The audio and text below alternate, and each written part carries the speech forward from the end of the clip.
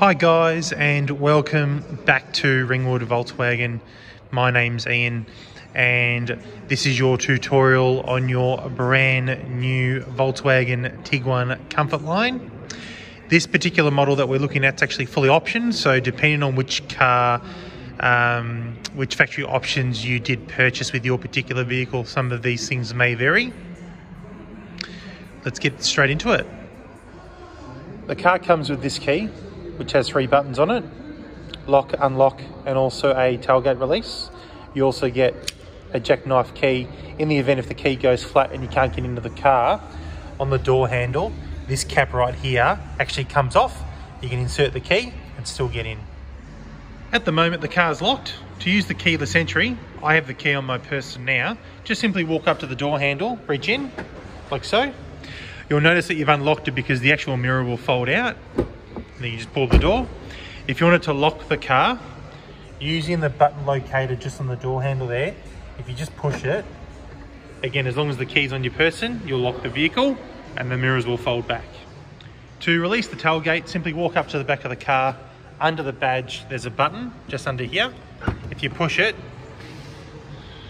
the car will do the rest. If you want to close the boot, the button for that is located just up here. Just simply push it and that'll fold back down for you. The car also does have a kick open function. So if your hands are full and you need to open the tailgate, if you just kick uh, just to the right side where the badge is, just one foot uh, space to the right underneath, like so,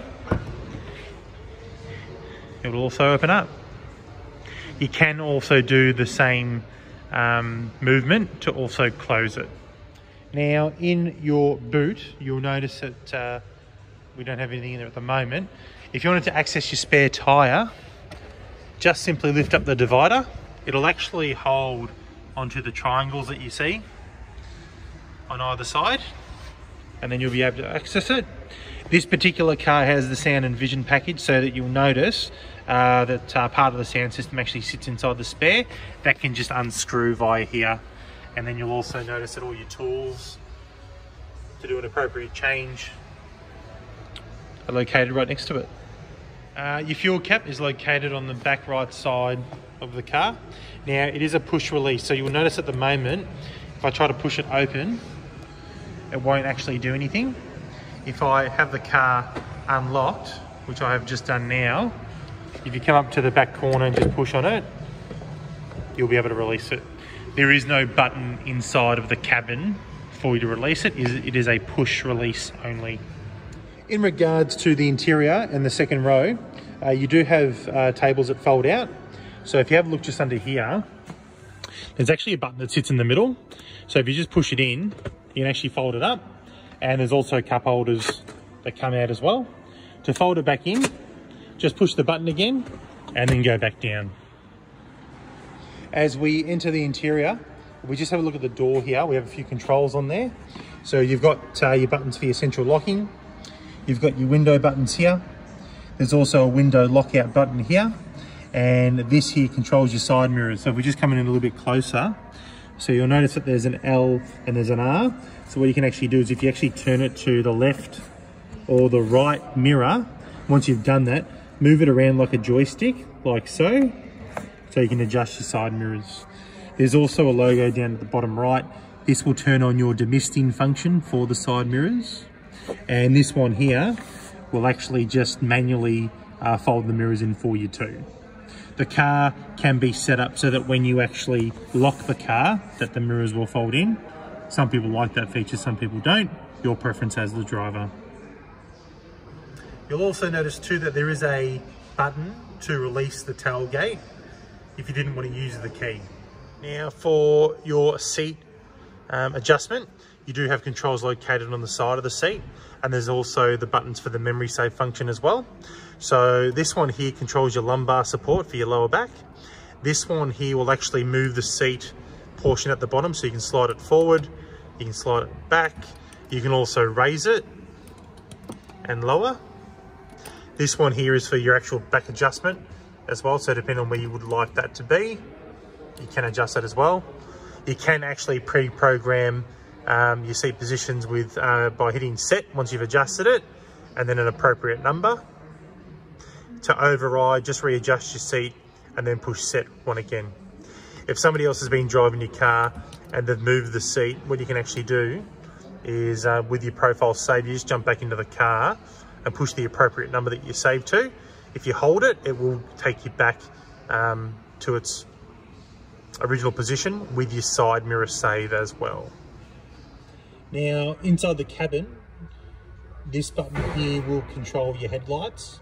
You'll notice that at the moment it is set to automatic, so when it starts to get to dusk, they will turn on themselves as well. If you wanted to turn that feature off, or just turn the actual lights off themselves, you can just turn it back to off. You also have your parking lights as well, and then that's your manual mode for your headlights. Below the light switch, you do have a hidden storage compartment as well. To control your high beams, uh, we're on the left stick. So if your headlights are actually engaged, what you can do, uh, for high beam manual mode, you can just pull it up towards you. You'll notice it in the dash that you have a little blue icon that comes up to say that they're active. Okay. Uh, if you actually push the stick forward, this will actually activate your automatic high beams. So at night time, what will happen, if there's any cars that are in front of you, uh, the car will automatically turn on and off the high beams. It'll only work if you can see that logo with the A symbol inside. Being that it is a European built car, your indicators are also on the left stick too. So indicating to the right, indicating to the left. Right stick, you do have your um, wipers. So the car does come with automatic uh, rain sensing wipers to engage it. Just push it up to the first lock position. If you push it up further than that, then you'll just in, uh, you'll just start off manual mode. The car also comes with paddle shifters if you wanted to drive the car in sports mode and have a bit of fun. So on the left, that's for your downshift. And on the right is your upshift. Or if you push and hold it in, uh, it'll take it from manual mode back to just normal auto mode. The car does come with voice control. Now there's two parts to it. One, you have the Volkswagen operating system version. So if you push it here on the steering wheel, you'll notice it on the head unit in the center. Uh, it'll give you a list of commands with how you can interact um, and use it. If you're inside Apple CarPlay or Android Auto, uh, it'll actually uh, engage the virtual assistant. So for example, uh, with Apple CarPlay, it'll engage with Siri, or if you're inside Android Auto, it'll start up the OK Google Assistant. Now also on the right side of the steering wheel, we have these uh, arrow keys up and down, side to side and an OK button, and also a view button too. Now being that this particular model is fully loaded and it does have the sound and vision package. We have the digital display that sits in front of us. Uh, depending if you have this option or not, these controls will change what's displayed in either this screen or if you have uh, no sound and vision and you've just got the two instrument uh, clusters with a smaller digital screen, it'll still use that function. So at the moment you can see that we've got the map displayed and then we've got the uh, appropriate gear and speedometer down bottom left and bottom right. So depending on what you actually push here, so let's just say for example I push to the right, you can actually change it off the map and change between your radio or your music settings, your telephone, you know, vehicle uh, status, driving data. This is quite a good one. So you can have like say for example your range until empty, um, but multiple options there. So what we might do just to show you something, We'll just select our digital speedo in the middle. Now you'll notice that at the moment we've now got two that are coming up on the screen. What you can do now, if you push the actual view button here, if you have a watch, that's more of a sort of minimalist style. You can change it to give you more information on the screen, or you can actually change it back to a more traditional view. Okay, um, and then where it says park and speed in, in the center of the two clusters, you can actually change that further again. So via the head unit, if we click on menu, vehicle, settings, if we scroll down to instrument cluster, click on settings here. Now this screen will come up and then you can actually change. We go to like say view one or two or three. You'll now notice that what was sitting inside the instrument clusters is now changed. So if you wanted to say, for example, have your consumption on the left, have say your range uh, until empty on the right, you can do it. Or if you wanted to just scroll through and select something else. So for example, your driver assistance, you'll now notice that the screen's changed again. And if we go back to what we were talking about at the start, by pushing up and down, say for example in driving data, again, there's actually a lot that you can change here. Like even if you wanted to run the map like so, you can still do it. Change the style. It's really your preference as the driver, guys, how you would like to um, have that set up. Now, if we take a look at the left side of the steering wheel, we have our controls for our adaptive cruise. You can tell because it's got the symbol here that can control the gap between you and the car that's in front. Res is for resume or restart. We have set, which can set the speed that which you're driving at. This button here is for on and off. This button here, if you have a look in the center screen when I push it in, this will actually bring up a, a quick guide for all of your safety tech. So if you wanted to quickly turn something off, this is the quickest way to do it and if you push the button again, it'll disappear. You'll notice that because we've got the driver assistance screen on the right side there at the moment, if I push the gap setter, you'll notice that it'll change with uh, different white bars. So each bar actually represents one second of a gap that it's between you and the car that's in front. So if you wanted to be uh, a bit safe, you'd probably want to leave it for either two seconds or three seconds. Um, if you want a bit more of a, a distance, you can obviously set that right up to five seconds too. In regards to setting the actual um, speed, once you've set it, pushing plus and minus here on the silver button, if you have a look down the bottom where there's three dashes next to the kilometers, so that's me setting it to 30 and then 40 and 50. The silver buttons will increase or decrease by 10. Okay, if you wanted to use um, res and set once it's been set, res and set will go up plus one and minus one. So essentially we have plus 10, minus 10, plus one, minus one. You'll also notice too, at the bottom of the right side and the left side, we have even more buttons again. Bottom left will do your track selection or your radio station selection. It'll just uh, scroll through those. And then you also have volume control on the uh, on the bottom left as well. If you have a look at the head unit, they also do give you um, volume control just here as well. Now everyone, with your actual head unit, so your center screen, there's quite a few options here. You can actually use it like a tablet. So if you wanted to just push on it and just scroll, you can do it. Uh, you've also got a little trick where it's got the gesture control. So if you hold your hand up to it and then just wave in front of it, you can also slide it that way too. You'll also notice that we've got aside from the volume control, we've got uh, three buttons here. The screen that we're looking at now is the menu uh, feature, which is the first one. You can click on the home button as well, which will give you a few different items at the same time. So a bit of the satellite navigation, telephone, and also your music or your radio settings. And then the power button there will just turn uh, the music on and off for you too. Now, we won't run through every menu and every sub menu. I'll just show you some of the main ones. So if we push on menu here, you can have a play around with your radio inside of the first feature. Now you'll notice that we've got some presets already shown coming up down the bottom there. Let's just say you wanted to have a different type of selection. So let's just say, for example, you wanted to listen to uh, Fox, so 101.9. If you wanted to pre-save it, what you can do is if you select down the bottom, and then choose it so that it actually comes up at the top of the screen. So just here. Once you can see that, if you just push and hold the preset, once you hear the beep, that's how you can resave it. Uh, the next item that I'll show you is the media function. So with the Tiguan, there's a lot of different ways that you can play music um, into the car. So once you've clicked on it, if you click on source, these are all of the different options that you've uh, that you've got. So you've got the jukebox, uh, which is an actual physical hard drive that you can copy music into. to copy music into it, you must plug in a device into, it's probably a bit hard to see, but uh, there's actually USB ports located just under the air conditioning controls. So if you wanted to copy some music into the car, you can. Uh, we still run a CD player, so that's just located inside the glove box there. Same with your SD card slots one and two. Uh, the USB connectivity is where I showed you before.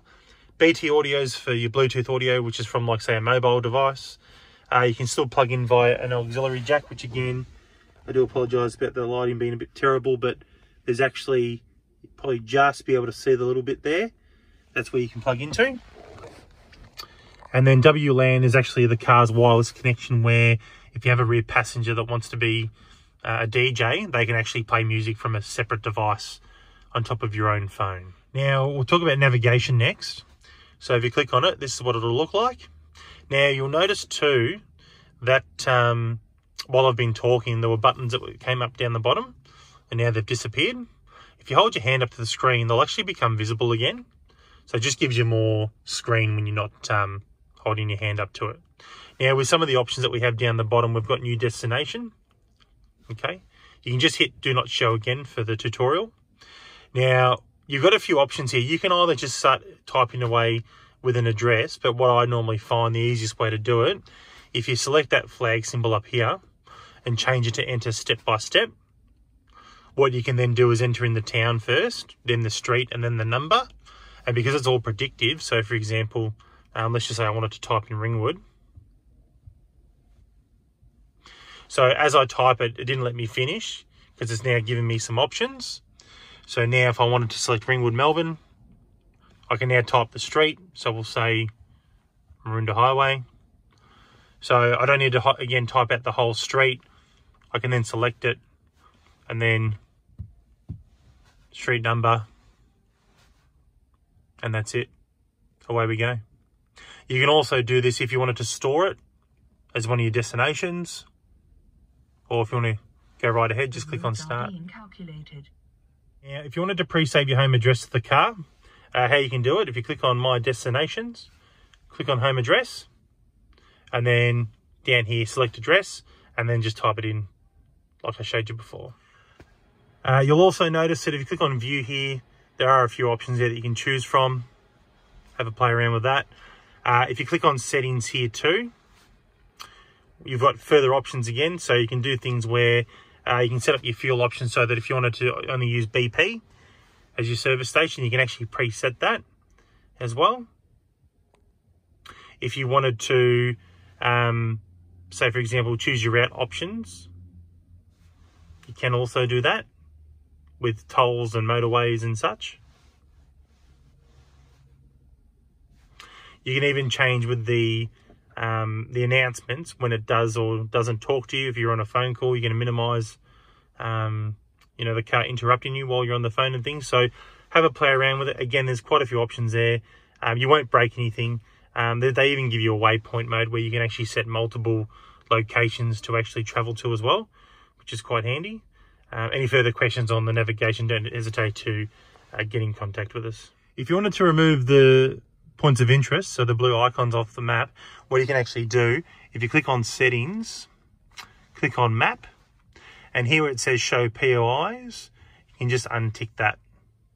Or if you did want to see them, um, select categories for POIs, you can actually choose what actually comes up on the map, but you can only have a maximum of, I believe it's eight. So if we just untick that now, you'll notice that it's a lot more clear when you look at it. The last thing I'll show you with the actual mapping system is it's very similar to a tablet. So what you can actually do, if you want to just put your finger on there and actually scroll around, you can do it. You can also uh, pinch to zoom in or do it the opposite direction to zoom out as well.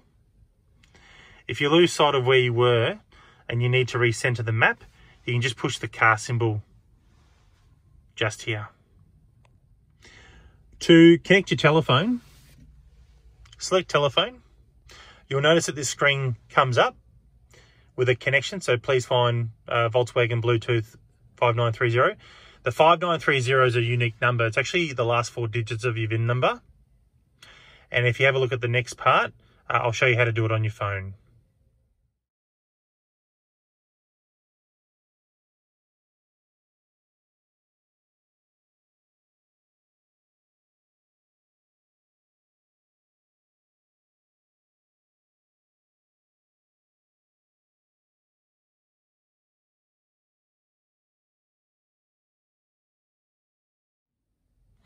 All right, so now that we've got our phone connected, you'll notice that your name will come up um, up the top here, as long as you've named your phone. So being that I have an iPhone, uh, obviously you can see that what I've got. If you've got an Android, it might be called something different. It might be called Samsung, or it might be called your Samsung device, but that's when you'll know that it's connected. You can also see up on the screen here too, that um, your battery life and your phone reception comes up at the top, which is quite handy. Now, you've also got some presets that you can choose to use as well. So for example, um, let's just say I wanted to select uh, one of my friends or family members. Uh, if you have a look here, there's a few options to choose from. So once we've done one, uh, for example, I'll just use this one here. Uh, you'll notice that now uh, it's actually saved as my first one. Also, you'll notice if you hold your hand up to the screen, you've got more options that become available down the bottom. You can still dial a number if you wish. You've also got the um, the number here for the breakdown services. Uh, you'll find that you should have a sticker located up on the top of your windscreen, but uh, they also pre-program it uh, regardless. You've also got all your contacts down here, all your call histories here, and then there's also another settings option. So for example, with some people, um, some people like to uh, have their phone book organized by say first name as opposed to surname. So you can actually change it in here if you like. So the next thing we're going to run through is Apple CarPlay and Android Auto. Now, just bear in mind, when you click on App Connect, this screen will pop up if your device isn't plugged in. Uh, you'll notice that it does say, please connect a device via USB. Has to be plugged in. It will not work wirelessly. And that's for all of them. Now, the next one that we'll talk about is vehicle. So if you select it, this is the menu that has uh, a lot of your different driving data screens. So if you click on selection here and say select driving data, you got your fuel economy usage. You'll notice that this one's uh, out quite a bit because it is a new car, hasn't actually been driven yet, hence why it's so high. Uh, there's also a Think Blue trainer, so the car can actually give you helpful tips and tricks on how to maintain um, excellent fuel economy and minimizing the wear and tear course of the car while you drive it. If you click on settings down here, this will give you a list of options where you can even customize the whole driving experience um, even further to your liking. And we'll run through those next. All right, so first thing that we'll look at is the tires. So here with this particular car, uh, it does have a tire pressure uh, monitoring system. So what it actually does is uh, it actually works off the rolling diameter of your of your tires. So if the car detects that your tires are starting to get a little bit low and that the rolling diameter of the wheel has changed, it'll actually let you know. You'll get a warning uh, that pops up uh, on your dash, and um, it'll let you know that you need to go pump them up. Once you've pumped up the tires, to reset at the new tire pressure, just push set and then push confirm there. Now, the next one that we'll talk about, again, we won't run through all of them, um, everyone, but uh, we'll talk about the driver assistance setting. So this is where you can personalize a lot of the safety systems. So first one being the adaptive uh, cruise control.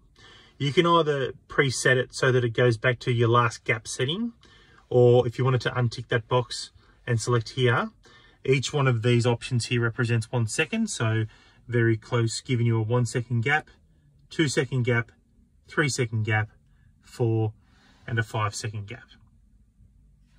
If I wanted to select a five second gap just here, if you look back to the screen now, see how it's changed.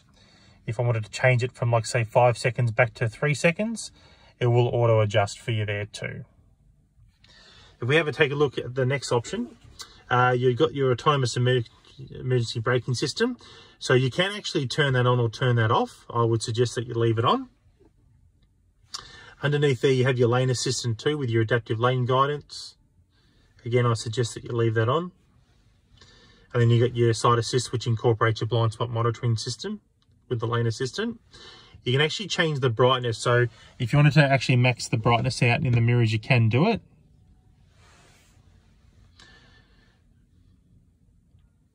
And you've also got your driver alert system. So the car uh, does, uh, does monitor your steering and your pedal input. Um, and if the car detects that you're starting to get a little bit tired, and it feels like you need to take a break, it will actually give you a warning as well. All right, so the next one that we'll have a look at is also your parking and maneuvering. So this is where you can actually change uh, the volume and the sound to what the sensors sound like. And if you scroll down to the bottom, You've also got your maneuver braking and your rear traffic alert. They've both been ticked in this one, so just make sure that they're active as well. The next one that we have is the uh, background lighting. So this is where you can actually change, if you select all areas, you can actually change um, how bright or how soft the ambient interior lighting is. Uh, you've also got mirrors and wipers. So in here, again, a few options there.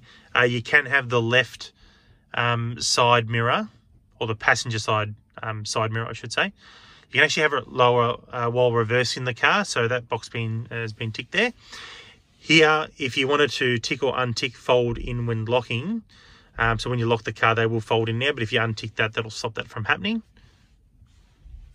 And then you've got uh, your boxes ticked for the wipers as well for your automatic uh, wiping in the rain. And the rear one will actually engage when you're in reverse gear too. Now next we'll click on opening and closing. Now there's a few different options here. So with window operation and where we've got convenience opening, if you push that to all windows, what you can do, uh, using the key fob, if you wanted to push and hold lock or unlock uh, for more than five seconds, you can essentially wind down or wind up all of the windows at once. So if you, for example, let's just say it's summertime and you wanted to air the car out before you jump into it, you can actually push and hold the unlock button for more than five seconds and drop all the windows down to let um, all the hot air uh, release. It's the same as if, let's just say you wanted to lock the car and walk away, you've left a window down. Instead of going back to the car, you can just push and hold the lock button and it will wind up the window. This car is also set to um, where it says down here, lock automatically when driving. What you can essentially do, it's like an anti-intruder device. When you drive off, if it's ticked, the car will lock itself. Now, it won't lock you in. If you pull the door handle, you'll still be able to get out of the vehicle. The easy open option is for the, the kick open and close that I demonstrated earlier.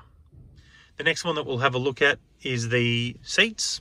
So in here, there's an option where you can click on driver seat for the access aid.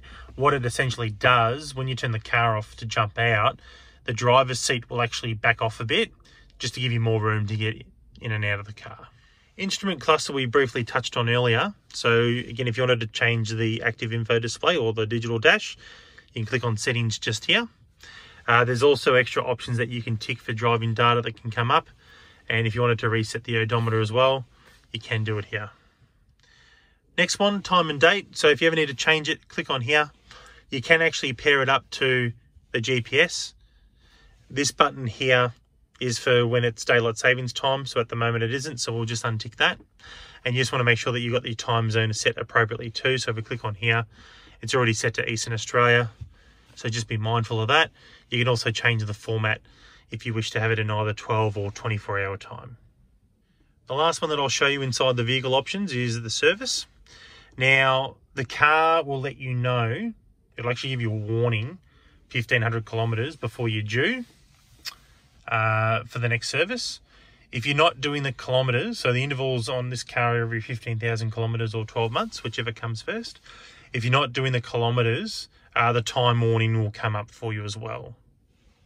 Now, there's also another option. If we actually swipe to the next set of screens, there's a few options here. Again, you can play around with these for the most part.